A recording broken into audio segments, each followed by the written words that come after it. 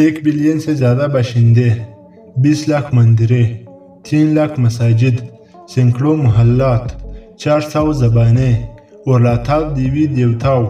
और मतनू मसाले के साथ साथ हिंदुस्तान एशिया का एक ऐसा मुल्क है, जिसमें सकाफती मजहबी और लसानी तनू है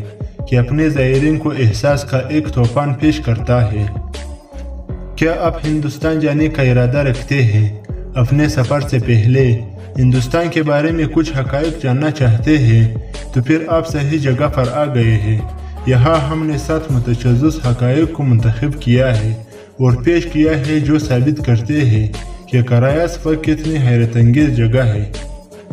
नंबर एक, हिंदुस्तान में गए मुकदस हैं। हिंदुस्तान में हिंदू मज़हब में गाय को मुकदस माना जाता है। इनका मानना है कि हर गाय में तीन सौ तीस मिलियन देवी देवियाँ होती है। कदीम हिंदू में गाय कामदीनों के तौर पर ज़ाहिर होती है जो तमाम ख्वाहिशात को पूरा करती है इस किस्म कदीम हिंदू सहीफों या वेद की नुमाइंदगी करती है और इसका सरासर ज़िंदगी के चार मकासद मादी दौलत निजात और ख्वाहिश जो कि इस्लाम में ये एक मज़ाक जाना जाता है नंबर दो हिंदू मत दुनिया का कदीम तरीन मज़हब है हिंदुस्तान का सरकारी मज़हब हिंदू मत है जिसके हिरोकार मरकबा और मंत्रों मखसूस देवताओं की शान में गाए जाने वाले अल्फाज के माहिर है और क्या आप जानते हैं कि हिंदू मत दुनिया का कदीम तरीन मज़हब है पाँच हज़ार पाँच सौ कबल मसीह की दस्तावेज़ के साथ हिंदू मत दुनिया का सबसे कदीम और तीसरा बड़ा मज़हब समझा जाता है जो एक बिलियन से ज़्यादा लोगों की खिदमत करती है नंबर तीन ताजमहल महल नहीं है हिंदुस्तान के बारे में एक और हकीकत यह है कि ताजमहल दरअसल एक मकबरा है। 1632 में शहशाह शाहजहां ने अपनी अनजानी बीवी मुमताज़ महल के एजाज में ताजमहल तामीर करने का हुक्म दिया। ताजमहल दुनिया के सात अजाइबात में से एक है और यह मोहब्बत और तमीराती रौनक की एक शानदार अलामत है।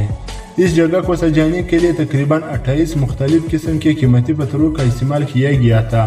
और वो तब चीन श्रीलंका और हिंदुस्तान के कुछ हिस्सों से आए थे मुगल सल्तनत के सबसे अहम सख्ती अजीबात में से एक है अब भी उत्तर प्रदेश हिंदुस्तान में अपनी तमाम खूबसूरती और खूबसूरती के साथ खड़ा है नंबर चार भारत हीरो की कंकनी करने वाला पहला मुल्क था हिंदुस्तान चौथी सदी कबल मसीह से तकरीबन एक हज़ार साल तक दुनिया में हीरो का मनबा था खालिश हीरा आंध्र प्रदेश में वाक़ दरिया कृष्णा के डेल्टा में पाए गए नंबर पाँच दुनिया की कदीम तरीन तहजीबों में से एक तौर पर हिंदुस्तान ने दुनिया को बहुत से अहम ईजादात और दरियाफ्तें दी शायद आपको मालूम न हो लेकिन शतरंज इनमें से एक है बादशाह बलियत ने एक हिंदुस्तानी ब्राह्मण को हुक्म दिया कि वो लोगों की जहानत को प्रो देने के लिए एक गेम डिज़ाइन करे वायरलेस कम्युनिकेशन एक और चीज़ है इस अख्तरा ने सरविदेश चंदरबोस के ज़रिए बातचीत के तरीके में इनकलाब बर्पा कर दिया वायरलेस रेडियो कम्युनिकेशन जो अफराद को बिजली की तारों या केबल्स के बगैर तेज़ी से बातचीत करने और डेटा को फासले पर मुंतकिल करने के काबिल बनाता है नंबर छः तमाम हिंदुस्तानी सब्ज़ी खोर नहीं है हिंदुस्तान दुनिया में सबसे ज़्यादा सब्ज़ी खोर मुल्क है लेकिन फिर भी सिर्फ़ 40 परसेंट आबादी सब्ज़ी खोर है। बहुत से हिंदुस्तानी चिकन और मछली खाते हैं। यहाँ सिर्फ़ सच्चाई यह है कि आपको किसी भी रेस्टोरेंट में खाने के लिए गाय का गोश्त नहीं मिलेगा और ज़्यादा से ज़्यादा आपको कुछ जगहों पर बेंस का गोश्त मिलेगा। नंबर सात, हिंदुस्तान दुनिया का दूसरा सबसे बड़ा अंग्रेज़ी बोलने वाला मुल्क है। आखिर में हिंदुस्तान के बारे में हमारे हक़ की फरसत में क्या आप जानते हैं कि हिंदुस्तान अंग्रेज़ी बोलने वाला दुनिया का दूसरा बड़ा मुल्क है? बस ये है, अंग्रेज़ी मुल्क में बोली जाने वाली अहम ज़बान है। इसके अलावा 400 ज़बानों और बोलियों का ज़िक्र हमने पहले किया है।